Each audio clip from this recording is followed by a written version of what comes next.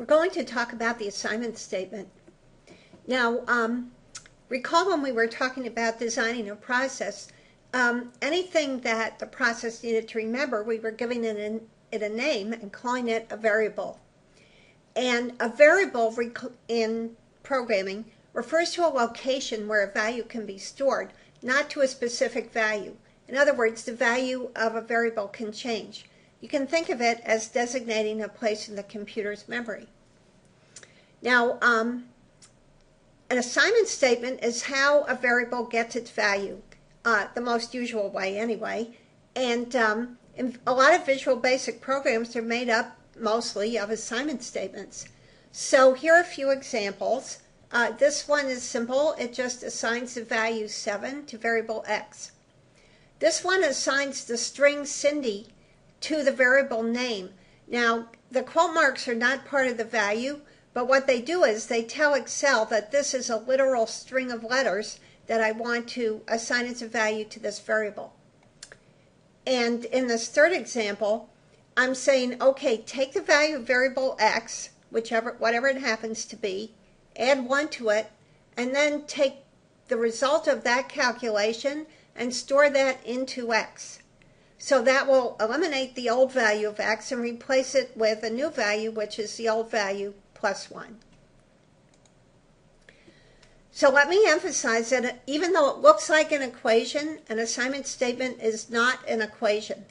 Um, for example, in x equals 4, the x on the left-hand side here refers to the memory location that we're using the name x to designate. And the, the statement is an action rather than an equation, and it says, okay, take the value 4 and put it into location x.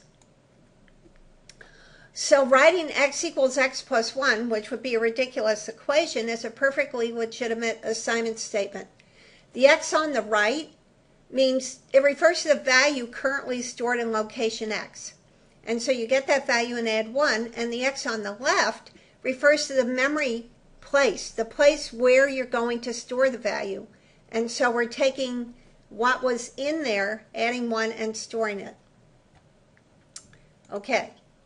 Now let's consider a sequence of assignment statements. And one thing to point out here is that the order of the statements is very important.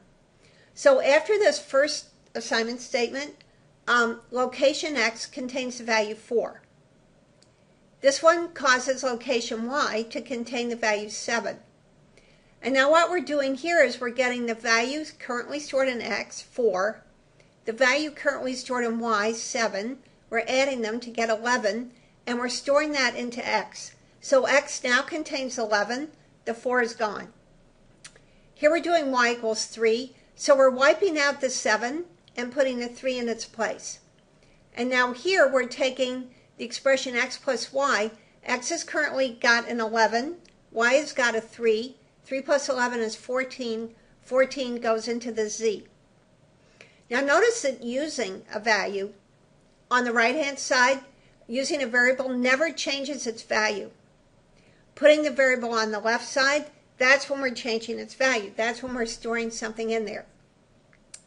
The other thing to notice is that I've got the same expression x plus y in line 3 and line 5.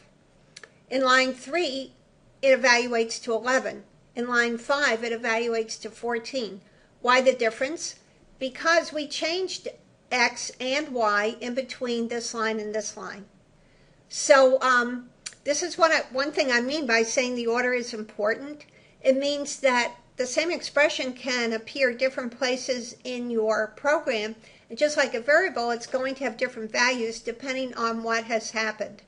And in particular, the the statements are executed in sequential order, first to first one, next one, next one, next one. And so that's very important because it makes a big difference on what the statement actually means, what the values of the variables are at that particular point.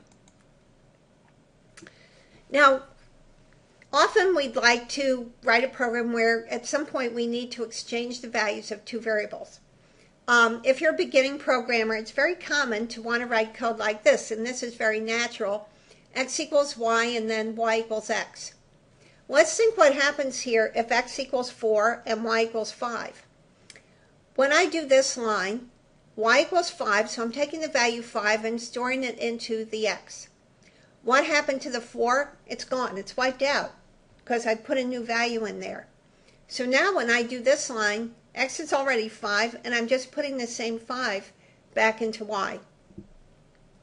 So I'll end up with both of them being 5, which is not what I wanted. So here's the way to actually do it. You need a third variable to remember the value of x while it's being changed.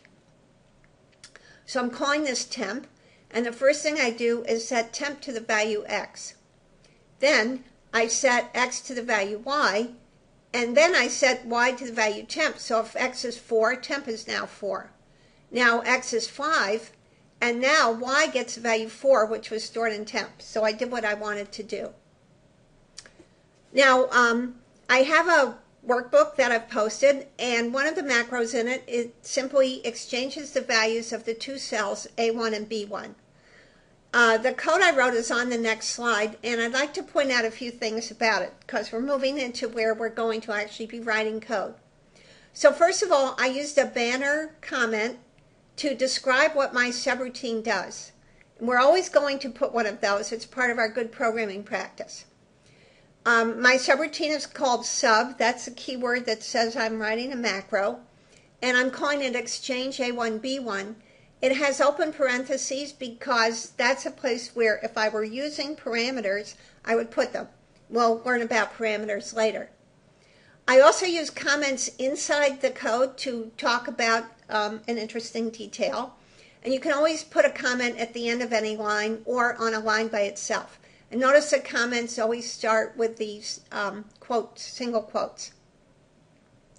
I'm declaring my variable. I'm calling it temp. And I'm using the dim statement to say temp is a variable of type variant. Okay, variant is an omnibus that can hold any kind of value. And I use that here because I don't know in advance what types of values will be in cells A1 and B1. So this will let me use whatever they are. Okay, here I'm referring to cell A1 with cells 1, 1 dot value, um, its value, and I put that in temp. So if you think of it, this is filling the role of X that I used before. And now I take this value of cell B1, which is um, column 2 and row 1, put it into A1, and then I put temp into here. So same exact pattern that we were looking at on the previous slide, uh, but this time using cells instead of plain variables.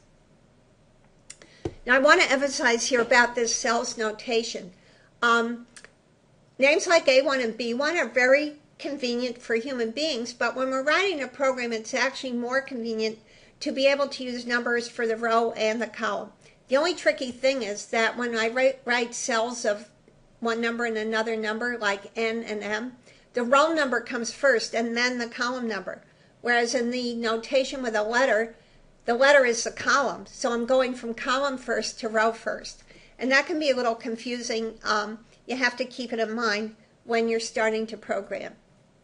Okay, so let's take a look now at the actual code, and I have it here. Um, first of all, let me just show you how it works. So I wrote my macro, and I have a button associated with it, and um, the place where you get those buttons is over here in the Insert tab, where I can add all sorts of controls to my um, worksheet. And here I set up a button that's associated with the macro that exchanges A1 and B1. So here's A1, it has 200, B1 has 10. Let's exchange them. And there you see, and I can just keep clicking and exchanging as much as I want. Okay, so let's actually go over to Visual Basic. And here's the code for Exchange A1 and B1. And you can see it's exactly the same as what I showed you um, on the slides. So this shows you that actual code in action.